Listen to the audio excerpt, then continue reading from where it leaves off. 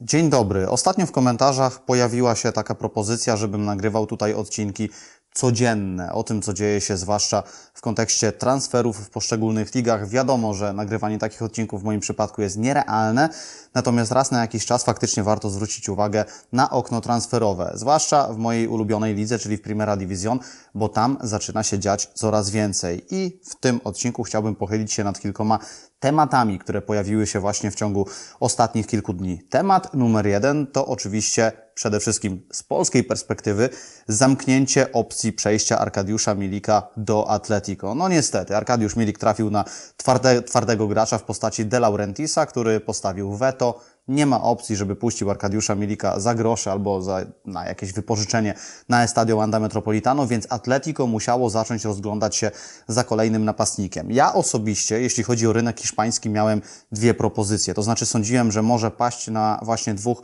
takich piłkarzy. Mianowicie, po pierwsze William José, czyli snajper, w tym momencie chyba numer dwa w Realu Sociedad, do którego wcześniej walczył także Tottenham, albo ewentualnie Rafa Mir, który strzelił co prawda tylko trzy gole w tym sezonie łezki w Primera Division, ale ze względu na profil tego zawodnika, ze względu także na potencjał i dość młody wiek, Atletico mogłoby się skusić właśnie na tego piłkarza. Natomiast ostatecznie Atleti troszkę ściśnięte przez Financial Fair Play, zdecydowało się na rynek zagraniczny i zdecydowało się na taką opcję krótkoterminową, mianowicie wypożyczenie Musy Dembele z Olympiku Lyon z opcją wykupienia tego zawodnika, z opcją, a nie z obowiązkiem, za 33 miliony euro. Ciekaw jestem, czy dojdzie do takiego transferu, bo przed Dembele naprawdę bardzo wymagające zadanie. Po pierwsze, żeby dostosować się do Atletico, a on przychodzi z Lyonu z kontuzją. Po drugie, ma tak naprawdę jedynie kilka miesięcy, żeby zrozumieć pomysł na futbol Diego Simeone i dostosować się przede wszystkim także do wymagań fizycznych, aczkolwiek w kontekście tego piłkarza tutaj problemu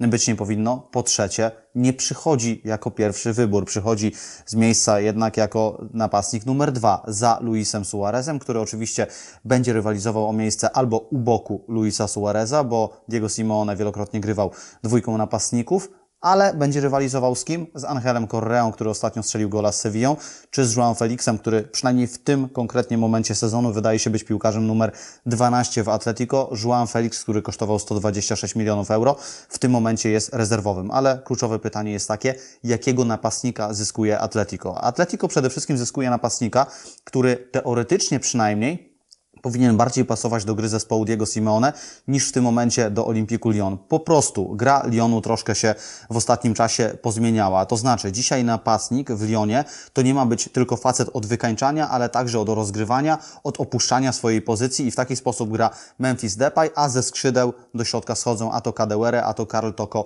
Ekambi. Natomiast Musa Dembele, czyli piłkarz, który imponował skutecznością w dwóch ostatnich sezonach, w poprzednich rozgrywkach 16 goli w ligę, a jeszcze w poprzednich 15 a jeśli weźmiemy pod uwagę w ogóle wszystkie rozgrywki z poprzedniego sezonu, to jest 46 meczów i 24 gole.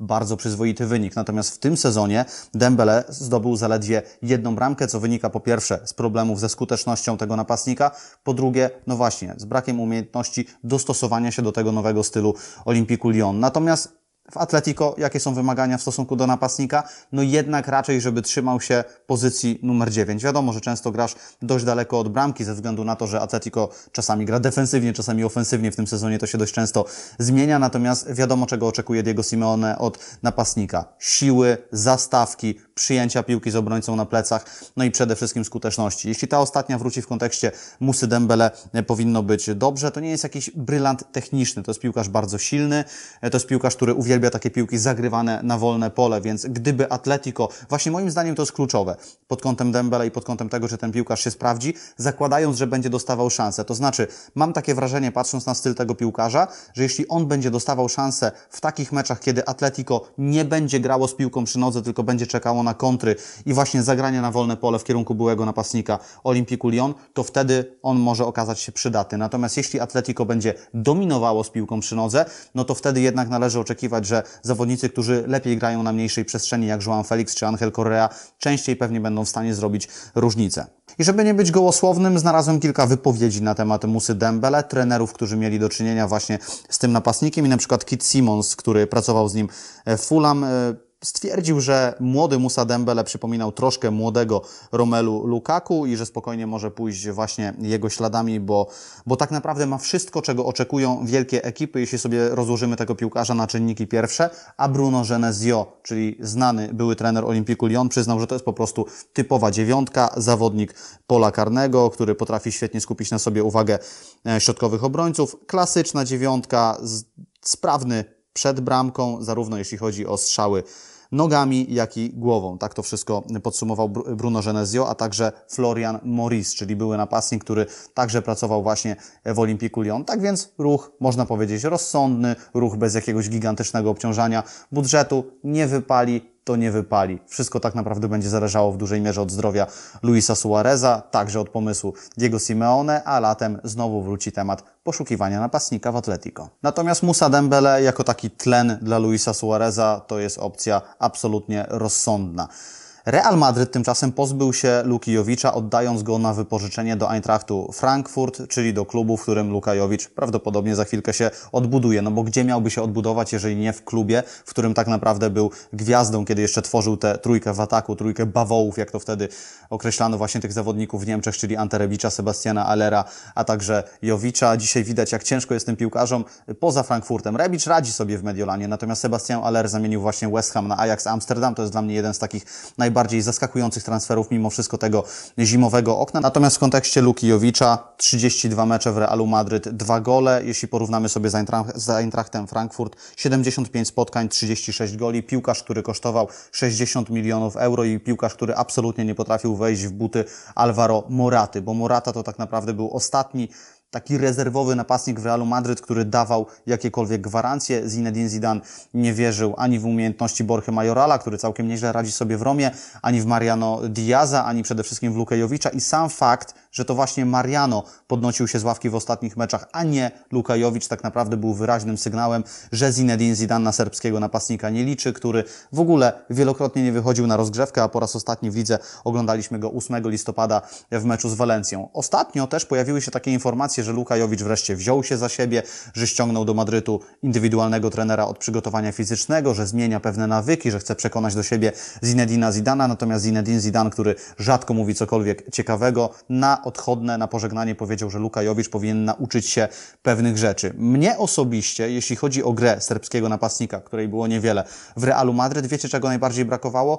Tego, co ma Mariano Diaz. Mariano Diaz momentami jest piłkarzem dość prymitywnym, dość takim prostym w swojej grze, to znaczy walka, jazda w pressingu, strzał, czasami to jest gra bardzo egoistyczna, natomiast Mariano Diaz, kiedy wychodzi na boisko, jest piłkarzem, który rzuca się w oczy, który pracuje dla zespołu, który aż kipi taką energią. W kontekście Lukijowicza bardzo tego mi właśnie brakowało. To znaczy, nie licząc jakichś pojedynczych spotkań, kiedy on dostawał szansę od Zinedina Zidana, wchodził na boisko jako taka apatyczna postać, bez jakiejś ochoty, bez energii, bez zaangażowania, bez jakby takiej wiary, że on jest w stanie odwrócić swoją sytuację. A Zinedine Zidane mówił zresztą jakiś czas temu, że w każdej minucie jesteś w stanie odwrócić swoją sytuację, że tak naprawdę to, że ty dostaniesz 10 czy 15 minut, to nie znaczy, że to są minutos de basura, jak mówią Hiszpanie, czyli takie śmieciowe minuty, bo naprawdę jesteś w stanie swoją sytuację sytuację odwrócić. Natomiast Lukajowicz w ani jednym momencie nie pokazał, że, że po prostu mu na tym zależy. I szczerze mówiąc, to jest taki mój osobiście główny zarzut właśnie do, do Jowicza i który mnie, szczerze mówiąc, zaskakuje. Być może były też jakieś problemy pozaboiskowe. Przypominają mi się chociażby słowa ludzi, którzy pracowali w Eintrachcie Frankfurt y, właśnie z Luką Jowiczem i on sam przyznał jeszcze w trakcie tego swojego pobytu we Frankfurcie, że przez tydzień u Niko Kowacza biegał tak naprawdę więcej niż przez rok w Benfice i kiedy Luka Jowicz przechodził do Realu Madryt, ja właśnie miałem taką wątpliwość, czy jeśli trafi do takiego otoczenia, w którym być może troszkę jest luźniej, w którym jeśli piłkarze sami sobie nie narzucą wymagań, jeśli piłkarze sami nie, nie, są w stanie siebie kontrolować, to być może nie będzie ktoś stał nad nimi z batem, bo Zinedine Zidane nie jest takim trenerem jak Niko Kovac, to być może piłkarz będzie podchodził do tego mimo wszystko ze zbyt dużym luzem. Czy tak się stało w kontekście Lukijowicza? Nie wiem. Natomiast ta jego postawa boiskowa to takie przechodzenie obok meczów. Słuchajcie, jeśli ktoś występuje w Realu Madryt, nie ma prawa przechodzić obok meczu. To znaczy nie powinny zdarzać się sytuacje takie, że oglądasz czy komentujesz mecz Realu Madryt i tak naprawdę mija jakieś 20 minut, a ty sobie przypominasz, o, Lukajowicz w ogóle w tym meczu występuje. A tutaj takich sytuacji po prostu było zbyt wiele, więc wraca do Frankfurtu. Jeśli tam się nie odbuduje, no to pewnie za chwilkę zacznie się zjazd. A sama cena, sama kwota, jaką Real Madryt musiał wyłożyć Zejowicza, to znaczy 60 milionów euro, dzisiaj tak naprawdę najbardziej nam pokazuje, a także walka, jaką Real stoczył o tego piłkarza z Barceloną, bo wtedy tak naprawdę to było takie przeciąganie liny. Barca także interesowała się Luką Jowiczem jako alternatywą dla Luisa Suareza, to pokazuje, jak strasznie w tamtym momencie ubogi był rynek w napastników. Bo jeśli sobie przypomnicie, co się działo w momencie, kiedy Real Madryt sięgał po Lukajowicza, to były tak naprawdę na rynku praktycznie dwa takie nazwiska, o które pytały, no topowe kluby i nikogo nie powinno to dziwić. Krzysztof Piątek i Lukajowicz. Obaj piłkarze tak naprawdę znajdują się troszkę na zakręcie. Piątek realizuje się jako joker w hercie, aczkolwiek na pewno go to nie zadowala, a Lukajowicz będzie musiał odbudować swoją pozycję w Eintrachcie Frankfurt. Ale w hiszpańskiej piłce ruch mamy nie tylko jeśli chodzi o transfery czy wypożyczenia napastników, ale także ruch na rynku trenerskim. Mianowicie koronawirus bardzo wpływa na, na rynek w Hiszpanii. To znaczy dzisiaj kluby muszą szczególnie patrzeć na swoje budżety, muszą szukać oszczędności, dlatego też nie są tak skłonne do zwalniania trenerów. I proszę sobie wyobrazić, że na etapie 17 kolejki tego sezonu Primera Division doszło zaledwie do dwóch zmian trenerów. Tylko dwóch szkoleniowców straciło posadę, to znaczy Oscar Garcia Junient z Celty Vigo, a także Gaisca Garitano z Atletiku. Natomiast y, tak dla porównania jeszcze, w poprzednim sezonie na tym etapie, na etapie 17 kolejki zmian było 5, a w rozgrywkach 17-18 aż 9, więc tendencja jest widoczna. Aczkolwiek po tej 17 kolejce doszło do dwóch kolejnych zmian, nad, nad którymi właśnie warto tutaj się pochylić. Przede wszystkim to jest rzecz naturalna, to jest rzecz, której można było się spodziewać. Pracę stracił Mitchell, czyli szkoleniowiec Łeski, która wróciła do Primera Division i która na tym etapie sezonu ma tylko jedno zwycięstwo. Łeska, która odpadła także z rozgrywek Copa del Rey z Alcoyano, czyli z bardzo przeciętnym zespołem, aczkolwiek ja na Copa del Rey akurat w tym roku patrzę z delikatnym przymrużeniem oka, ponieważ wydaje mi się, że wielu trenerów nie chce tego powiedzieć wprost, ale e, troszkę te rozgrywki są takim kamieniem w bucie właśnie dla tych szkoleniowców, natomiast Mitchell doprowadził do tego, że Łeska fajnie grała w piłkę, że Łeska znajdowała się w czołówce, jeśli chodzi chociażby o skuteczność dryblingów, była nawet w pewnym momencie najlepsza w całej hiszpańskiej lidze, że kilku zawodników naprawdę pokazywało się z ciekawej strony, jak Dawid Ferreiro, czołówka Primera Division, jeśli chodzi o kluczowe e, podania, jak także kilku innych zawodników. Bardzo przyjemnie patrzyło się na ten zespół, natomiast brakowało po prostu zwycięstw. I kiedy Mitchell tak wysłuchiwał dziennikarzy po kolejnych meczach na zasadzie fajnie gracie, ale brakuje brakuje brakuje z tej gry e, punktów, to już sam miał dość, samemu Mitchellowi kończyła się cierpliwość, już miał dość tego gadania, natomiast Mitchell, czyli już były szkoleniowiec Łeski, zaimponował jedną rzeczą na koniec swojej pracy.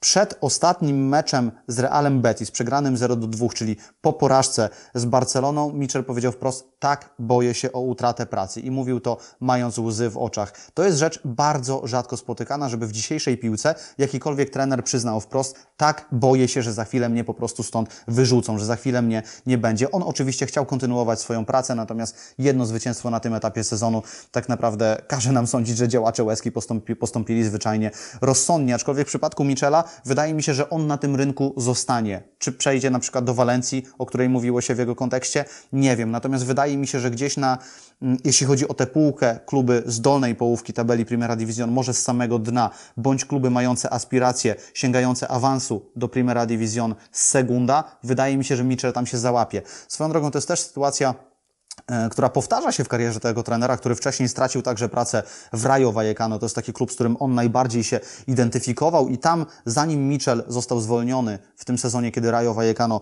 e, spadało właśnie rozgrywki 18-19 z Primera Division, podczas jednego z treningów albo po którymś z meczów, już nie pamiętam dokładnie, kibice Rayo zaśpiewali mu coś takiego, że ty nas wyciągnąłeś z Segunda, my pójdziemy z tobą, my tak naprawdę na śmierć i życie będziemy e, za tobą stali i tak dalej. Mitchell Contigo siempre Mitchell, zawsze będziemy z Tobą. I tutaj, gdyby byli kibice na, na Estadio El Alcoraz, na obiekcie Łeski, podejrzewam, że byłoby podobnie, więc po raz kolejny mamy do czynienia z taką historią, kiedy Mitchell żegnany jest jako, jako człowiek, który dokonał naprawdę czegoś fajnego, który odniósł sukces, który przede wszystkim potrafił e, budować tę ekipę na taką modłę typowo hiszpańską, to znaczy bardzo przyjemne, widowiskowe granie, no ale jeśli nie ma wyników, to nie ma zmiłuj. No i po kogo sięga Łezka? Jednak po trenera preferującego troszkę bardziej bezpośredni styl, czyli po znanego i lubianego Paczetę. Trenera, który, który prowadził jeszcze niedawno Koronę Kielce, aż trudno w to uwierzyć. W pewnym momencie już wypadł zupełnie na peryferia, pracował nawet w Tajlandii, na przykład z Łukaszem Gikiewiczem i wydawać by się mogło, że już